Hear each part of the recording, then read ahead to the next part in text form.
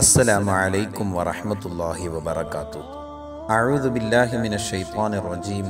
ബിസ്മില്ലാഹിർ റഹ്മാനിർ റഹീം നഹ്മദുഹു വനുസല്ലി അലാ മുഹമ്മദിൻ വഅലാ ആലിഹി വസ്വഹ്ബിഹി അജ്മഈൻ. അമ്മാ ബഅദ്. അല്ലാഹു സുബ്ഹാനഹു വ തആലയുടെ സൃഷ്ടി ജീവജാലങ്ങളിൽ നമ്മെ അത്ഭുതപ്പെടുത്തുന്നതും വ്യത്യസ്തങ്ങളുമായ പല തരങ്ങളുണ്ട്. അവകളിലൊക്കെ നമ്മുടെ ചിന്തയെ അവൻ നൽകിയ ബുദ്ധിയെ വിനിയോഗിച്ചുകൊണ്ട് ചിന്തിക്കുമ്പോൾ യഥാർത്ഥ നാഥനായ അള്ളാഹു മാത്രമേ ആരാധനക്കർഹനുള്ളൂ എന്ന് നമുക്ക് വ്യക്തമാകും. അള്ളാഹു സുബഹാനഹുവ തആല അവന്റെ വിശുദ്ധ ഖുർആനിലൂടെ പറയുന്നുണ്ട്. ഫീ ദാലിക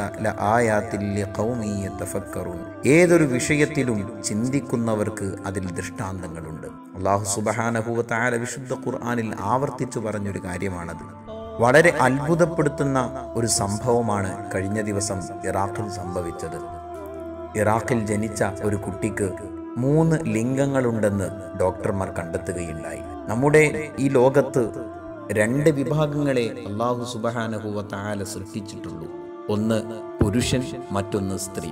അപ്പോൾ ട്രാൻസ്ജെൻഡേഴ്സ് ഒന്നുകിൽ സ്ത്രീയോട് കൂടുതൽ സാമീപ്യമുള്ളവരായിരിക്കും അല്ലെങ്കിൽ പുരുഷന്മാരോട് കൂടുതൽ സാമീപ്യമുള്ളവരായിരിക്കും.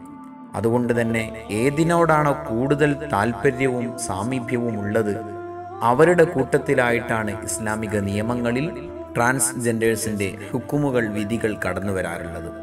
എന്നാൽ രണ്ടും നിർവചിക്കാൻ കഴിയാത്ത രൂപത്തിൽ മുഷ്കിലായി കിടക്കുന്ന രണ്ടിലേക്കും സമമായി നിൽക്കുന്ന തുല്യമായി നിൽക്കുന്ന ചില ട്രാൻസ്ജെൻഡേഴ്സുമുണ്ട്. അവരെ യഥാർത്ഥത്തിൽ നമുക്ക് ഈ ലോകത്ത് ആരുടെ കൂട്ടത്തിലും പെടുത്താൻ കഴിയില്ലെങ്കിലും നാഥനായ അള്ളാഹുവിന്റെ അടുക്കൽ ആ ഒരു വ്യക്തി ഒന്നുകിൽ സ്ത്രീയിൽപ്പെട്ടതാണ് അല്ലെങ്കിൽ പുരുഷനിൽപ്പെട്ടതാണ്. നമുക്ക് അവരെക്കുറിച്ച് അവ്യക്തമായി എന്ന് മാത്രം. ചുരുക്കത്തിൽ ഞാൻ പറഞ്ഞു വരുന്നത് ഇറാഖിൽ സംഭവിച്ച മൂന്ന് മാസം പ്രായമുള്ള ഒരു കുട്ടിക്ക് വൃഷണസഞ്ചിയിൽ വീക്കം ഉള്ളതിനാലാണ് ആ കുട്ടിയുടെ മാതാപിതാക്കൾ ഡോക്ടർമാരെ കാണുന്നത്. ഡോക്ടർമാർ പരിശോധിച്ചപ്പോൾ കുട്ടിക്ക് രണ്ട് ലിംഗങ്ങൾ കൂടി ഏറെ ഉണ്ടതായി പിന്നീട് മനസ്സിലാക്കുകയായിരുന്നു. ലോകത്ത് അഞ്ച് ആറ് മില്യൺ ആളുകളിൽ ഒരാൾക്ക് മാത്രം ഉണ്ടാകുന്ന ഒരു അത്യപൂർവ കേസാണ് ഇത്തരത്തിലുള്ളത്.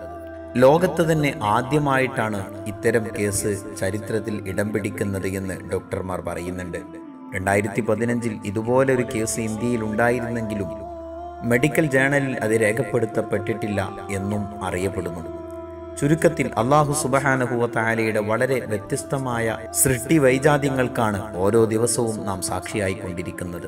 ഇവയിലെല്ലാം നമ്മുടെ ബുദ്ധി പ്രയോഗിച്ചുകൊണ്ട് അള്ളാഹുവിലേക്ക് അടുക്കുകയാണ് മുഅ്മിനീങ്ങളായ വിശ്വാസികളായ നമ്മെ സംബന്ധിച്ചിടത്തോളം വേണ്ടത്. അള്ളാഹു സുബഹാനഹുവ താര അവന്റെ സൃഷ്ടി വൈജാത്യങ്ങളിൽ ചിന്തിക്കാനും അതിലൂടെ അവനിലേക്ക് അടുക്കാനും നമുക്ക് അള്ളാഹു തൗഫീഖ് നൽകുമാറാകട്ടെ. ആമീൻ. ദുആ വസീയത്തോടെ അസ്സലാമു അലൈക്കും വറഹ്മത്തുള്ളാഹി വബറകാതുഹു.